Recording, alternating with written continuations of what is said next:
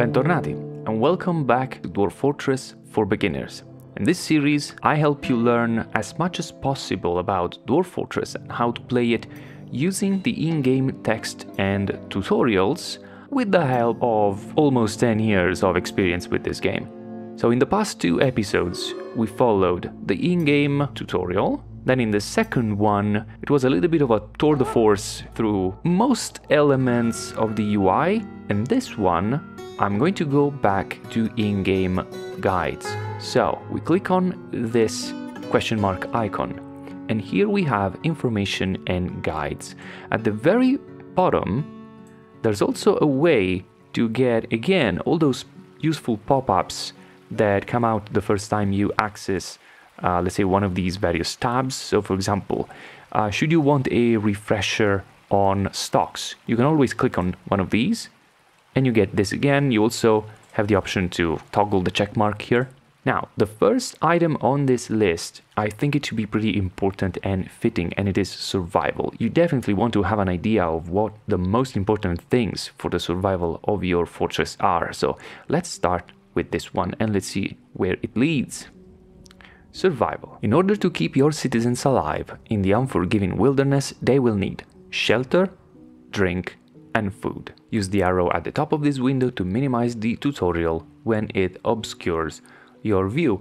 This is actually very good. I don't remember exactly if this was also pointed out during the standard in-game tutorial, but the fact is these aren't real windows.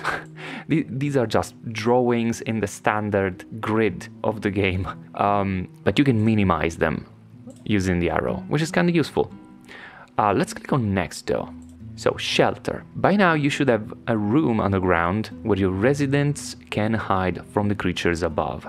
To make sure they spend their, their free time down there, you will need to use the Zones menu to create a meeting area. Later, you may try the Burrows menu to create a safe place for your civilians to hide when real trouble comes. Okay, this is a very useful nudge in the right direction. As you may notice, if I unpause all the dwarves that currently don't have a job are hanging out together with the animals that are not in a pen uh, around your wagon because the wagon acts as a meeting area. However, as soon as you designate any other kind of meeting area, your dwarves will prefer to hang out in there. Having a meeting area as a default gathering spot is not only a good idea for uh, security, from the security point of view, because your dwarves will normally stay in a location of your choosing rather than outside and being exposed to the elements. It's also a good thing for the uh, mood of your dwarves. Socializing is an important aspect of their lives and being able to stay close to friends and family definitely has a good effect on their morale. Most kind of zones will do, so let's go downstairs. We want to make one that is pretty simple for now, so let's click on zones and we can create a simple meeting area. And we can really create a rectangle just about anywhere, it doesn't matter. Let's designate all this area to be a meeting area, it doesn't need to have anything spectacular to it. And if I unpause, we will see the dwarves streaming downstairs to hang out in the new meeting area, together with cats and dogs. Something else to point out about meeting areas specifically. A standard, you know, vanilla, let's say, meeting area can then later be specialized by clicking on this button, the tooltip says assign a new or existing location to this zone. Locations are groups of zones and rooms with a larger purpose, like a tavern, a temple, a library, or craft guild hall.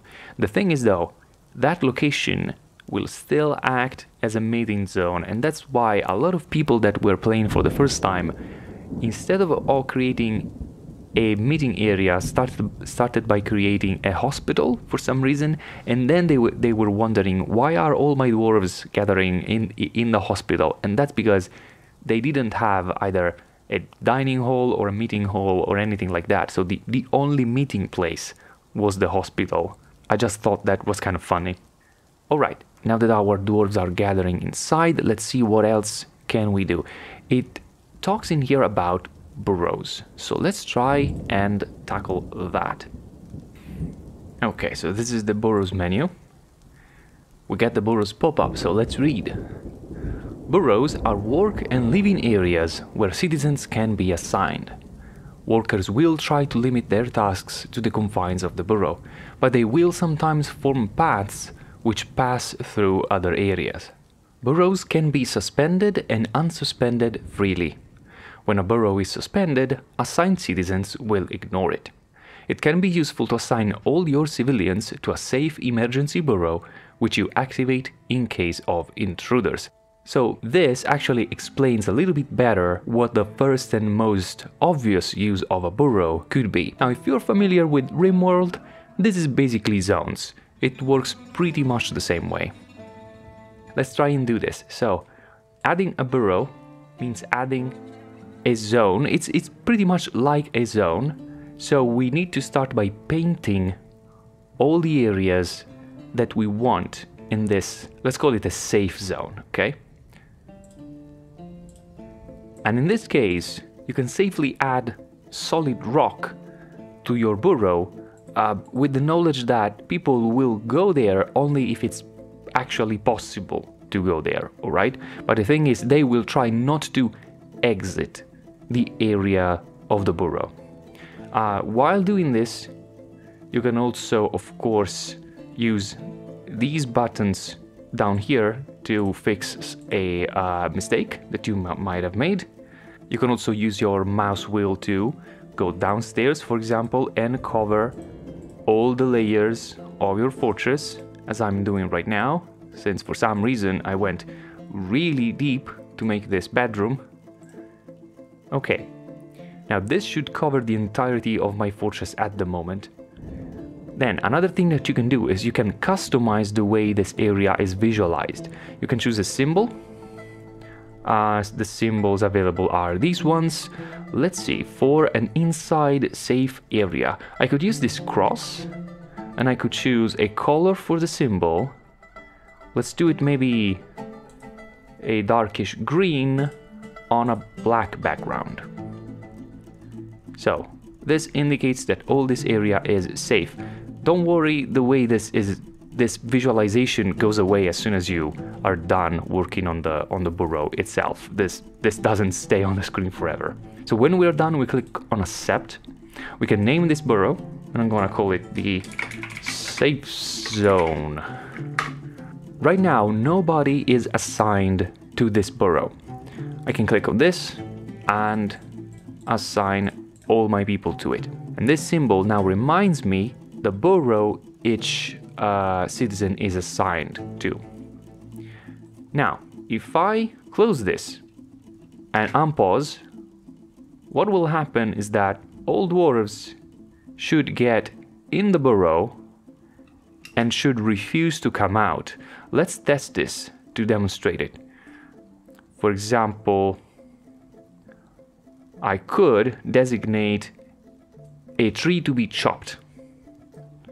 So, tree chopping, let's try and remove these pecan tree. If I unpause, even though my dwarves have nothing to do, they are refusing to come outside to chop this tree. Now, this again is especially useful when there is some enemy, some kind of danger on the surface and you want everybody to stay inside. Now, how do we though allow people to continue doing their normal jobs when no such danger is around? Well, we go back to burrows and as it says in here, we can suspend a burrow. So let's dismiss this now. Suspend this burrow. Assigned citizens will not respect burrow restrictions while a burrow is suspended, but all tasks within the burrow will still function. Okay, so, so we suspend the safe zone burrow. I close this, go to, to the surface, unpause. Now, my woodcutter feels free to come outside and chop the tree. Okay, the useful thing is though, this burrow is still available whenever I, I want. I can unsuspend and all my dwarves will know, okay, it's time to go in the safe zone. From time to time, you will want to revise your your uh, burrow as your fortress expands. Of course, for now my fortress is extremely tiny because I've been doing the minimum necessary to continue with these tutorials. But as you expand, of course, you want to, at the very least, encompass some form of meeting area, your at, at, at least your food stockpile, if not also your other stockpiles, because let's say you get sieged by goblins while under siege. If your defenses are in a good place, your dwarves could still could still be inside and work on whatever task you uh, assign to them. So definitely, from time to time, go ahead and revise the area that is assigned to your uh, safe zone. Okay, so we have a meeting zone, so dwarves will normally spend time inside, but we also have a, a burrow to force them in a safe area. What else can we do? So survival. We've read this, we've read about zones, meeting areas and burrows. Next. Labor. Some essential tasks must be assigned from the labor menu. Click here and make sure you have a miner, a woodcutter and a fisher dwarf. If you haven't suffered any casualties, you should have these labors assigned already, but if one of these brave workers falls, you'll need to assign somebody to these duties. Alright, so this is basically reminding you that if you follow the tutorial, you should have, by default, at, at the very least, a miner, a woodcutter, and a fisher. But if something happens to one of these dwarves, you may want to reassign these professions because without anybody assigned to mining, you cannot expand your fortress. Without anybody assigned to, let's say, tree chopping, you cannot gather wood. And without anybody assigning to fishing, fishing isn't really necessary, strictly speaking, but it's one of the easiest way to get a ton of food should water be available somewhere. So if you didn't start farming yet, and you don't know how to hunt or you don't know how to slaughter your cattle uh, and you have no fisher, there's a chance you may end up without any food. Okay, so we've checked. We have all those uh, very baseline professions covered, so we can dismiss this for a second. Drink. There are two ways to make drinks for your residents. The main way is by brewing alcohol. This is done by building a still from the build menu using workshops farming still. You know what? We do not have a still yet, and that seems the most important thing in a dwarf fortress to me. So let's prepare an area for our still. I would like to expand a little bit in, in this direction on the left, mainly because it's gonna be quicker, because in this area we dig in soil, as opposed to this uh, shale stone that we have on the right side of, of our fortress. However, as we learned in the previous episode, let's make sure we are not digging under any tree because if we remove all the roots of a tree, we will be left with a hole in the in the ceiling. So, let's see. I, I think I can safely come to here, more or less. So, let's actually, you know what? Let's expand just like this. Check again. Okay, no trees upstairs. That seems a good enough area for, for now. Let's quickly let our dwarves continue mining and I'll be back. Alright, now that we have some additional space, let's pause again. Let's open the building menu, workshops. We want to look under the farming category and in here we find the still. Let's place still right in here. It still can be made of pretty much anything. I will choose a wood log, because that seems to be not only very uh, close and also we have a lot of them, but it's also a good choice in the very early game because wood is much lighter than stone. So as soon as we catch somebody go upstairs and get a log, well, they were so quick that I couldn't even uh, see them uh, traveling with it uh, as opposed to a stone, a stone boulder, you would definitely catch the dwarf painstakingly hole, holding that, that thing. So now that we have a still, what do we do with it? Once the still is constructed, click on it and add the task brew drink from plant or fruit. If you have no suitable plants, you may try planting or gathering. The task also requires a barrel from the carpenter's workshop. Okay, let's try and do that. So, I click on the workshop, I click on add task, and I immediately see that most of these tasks are locked at the moment, and it even says why. Brew drink from fruit says requires empty food storage item, and brew drink from plant says the same thing. What does this mean? An empty food storage item is either a barrel or a large stone pot. Both of, of these items are suitable to store liquids. There's also another option, but it's much more complicated because you would have to get into uh, earthenware and ceramics and glazing and stuff like that to make a big ceramic jug. Uh, let's not think about that, that's pretty advanced, but for sure we can try and make barrels. Now, if you have been following the tutorial, you have a fisher and that fisher has been fishing for a while. Why is this important? Because fish is food, first of all, but also fish is stored in barrels. And I've seen many, many people get in a situation where they couldn't understand why they couldn't get ahead of the curve of producing barrels. People were constantly saying, why do, why do I still need more barrels? Well, the reason is you have a fisher that is catching a lot of fish and all that fish is getting in your barrels and now those barrels cannot be used for booze. So one thing that I would like to do before I start uh, thinking about drinks is I want to get to, into labors, fisher, and make sure that either I unselect this or, as I've done in the previous episode actually, click on nobody does this. This button here, nobody does this, it ju is just a convenient way of saying it doesn't matter how many fisher dwarves we have. You might be in a situation where you want everybody to go fishing for some reason. But if you click on nobody does this, it means this kind of labor is paused for everybody. Making sure that we are not producing any more fish than this. Now let's take a look at barrels. So let's get to the carpenter's workshop and add a few tasks for barrels. So add a new task, make wooden barrel, and let's make a few of these.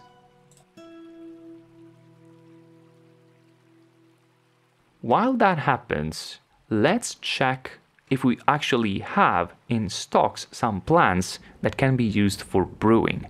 Now you can do this in two different ways. You can go to stocks and then you can locate the plants category in here. And here we can see that we have 37 different plants. What we do not know from here though is what can and what cannot be used to make alcohol. So another second way, which is actually more convenient, is going to labor and then kitchen. And in here we get these icons that are very, very useful. So in here, this is saying, for example, that bitter vetch leaves uh, can be used to make meals. They cannot be used for brewing into alcohol. Uh, plump helmets, for example, you should have some of these unless for some reason your dwarves already uh, ate all of them. These can be used for both it is, however, a good idea to disable the use of plump helmets in cooking. The best use of plump helmets is to either eat raw or uh, brew into alcohol. The reason for that, it's a, a little bit beside the point, but it's very important to know regardless. When dwarves cook something at the kitchen into a meal, the seeds are lost. It's always been the case it's not clear if that's intended or the result of a bug or something that at some point will be changed, but the thing is, eating raw or brewing in, into alcohol or milling into flour or processing or anything anything else uh, leaves seeds behind. Cooking into a meal destroys the seeds. So for things that you are sure you want to use for alcohol production, it's a good idea to disallow the use in cooking. So this is the case for us for plump helmets and we can see that we have 27 plus we have many other options. So we definitely have plants. Let's say we didn't. Let's imagine we did not have plants. What would we do to ensure that we can make some alcohol? Well, we can go to the surface and we can use the plant gathering designation and select an area in which to gather plants. You can definitely see the plants on the outside, so let's actually zoom outside a little bit. Let's pick an area that has um, a multitude of little plants like this, for example. We designate, you see, oops, you see the plant gathering icons appearing. Now, if I unpause, I should have many dwarves come outside and start gathering those plants. All right, so we know how to gather plants. Somebody is creating our barrels, and we have at least one that we know. It might also be a good idea, while we're at it, to create a dedicated stockpiles to hold those empty barrels, just so that at a glance you can see where the empty, empty barrels are and you can see if there's a problem in your ba barrel making industry. So let's go in here. Let's create a new stockpile. Let's place the stockpile very close to the still. Accept. Now, barrels are in the furniture category. So we want to select that. And then after selecting the furniture category, we want to click on custom. So right now the stockpiles can include everything in the furniture and siege ammunition category. What we want to do is get in here in type, say none to, to deselect everything, and then select barrels. This way, we will get barrels of any material and, and any quality. Having done that, this is basically now a barrel stockpile. There is just one last thing to do because I have this very generic stockpile. Can get to it by clicking on any item and then view stockpile. This also accepts barrel. If I get in the custom here, it definitely accepts everything in furniture, so including barrels. What I can do is get in here and say, you know what, I don't want empty barrels to be here, so I deselect that. This way, the new stockpile will be the preferred place for barrels. Let's unpause and see if any of my dwarves catches the opportunity to move barrels there. Yes, alright. So now we know at a glance that we have at least a, an empty barrel. However, I wasn't fast enough. Something happened. It's become a fish barrel. just I was saying. Just, and that's because I had a lot of fish just lying around because all the time that, that initial default fisher dwarf spent fishing. Not to worry though, we still have at least a willow barrel in here. It will probably be brought down in a second. Is this empty? Well, actually, we, sh we should have more than one available barrel at this point.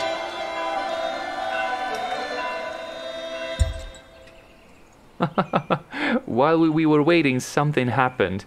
It looks like two of our dwarves just married. It's incredible. Congratulations to Sodal and Nish. Now, if you could just go back to, you know, moving barrels, please. Alright, let's pause in here. We have a single pear wood barrel available. Now, let's quickly click on the still add a new task. Now brew drink from plant is available because we both have the plants and the container to store the alcohol. So, brew drink from plant. Now let's wait for somebody to come by. Here he is. Etur is in here. They picked up two plump helmets and the barrel. Let's unpause.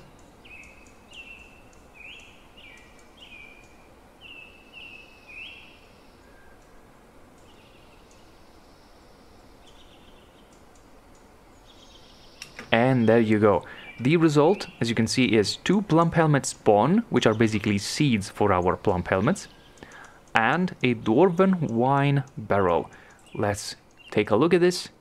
This actually contains 10 stacks of dwarven wine. This is an exceptional dwarven wine barrel. Very good. Very good indeed.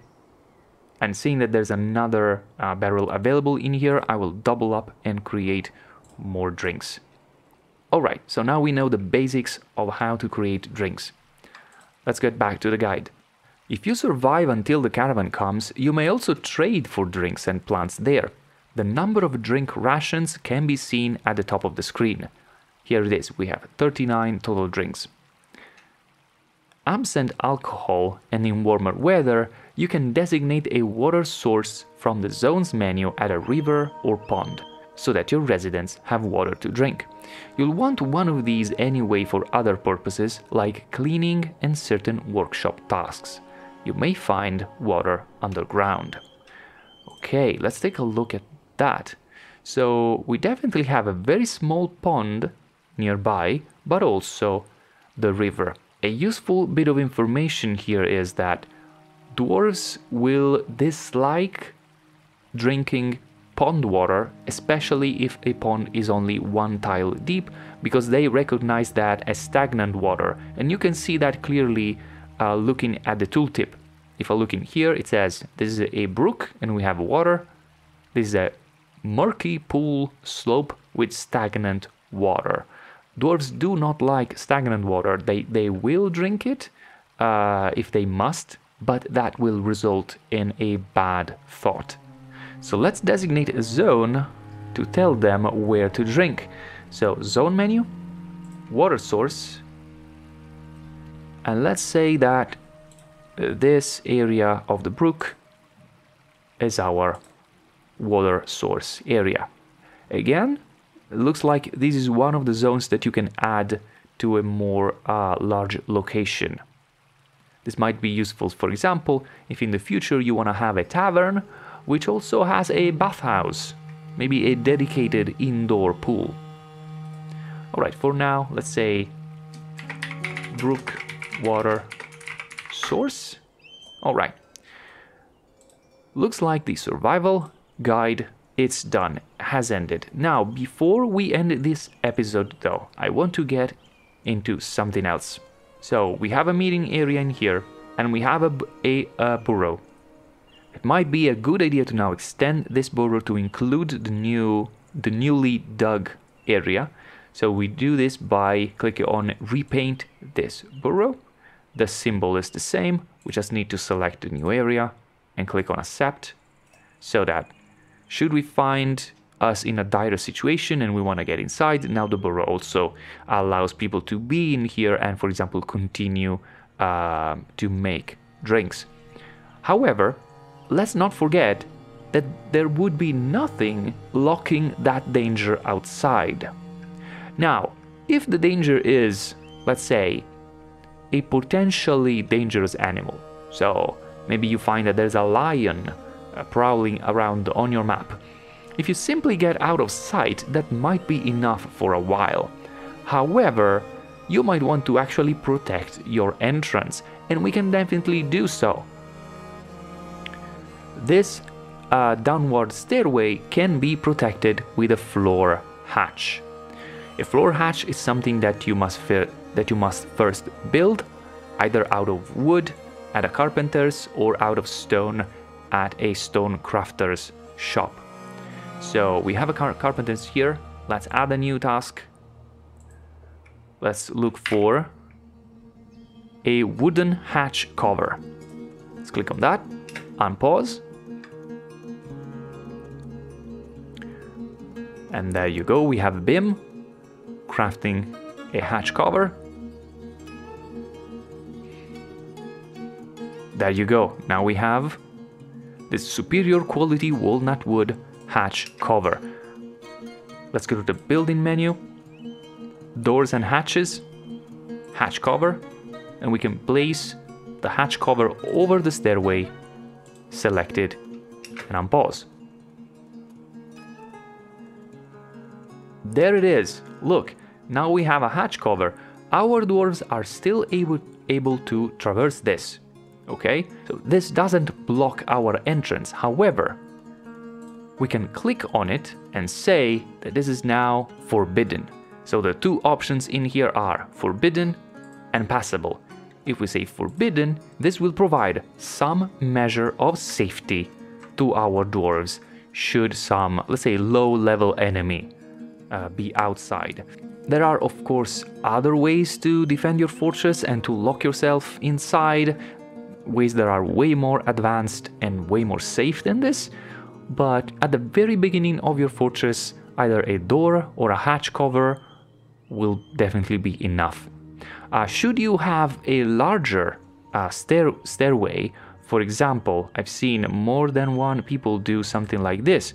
If I go to mining, say, dig a stairwell, uh, many people did something like this. They selected a 2x2 area for a larger, a larger stairway. That's absolutely a valid point because it allows more people to go uh, in and out at the same time.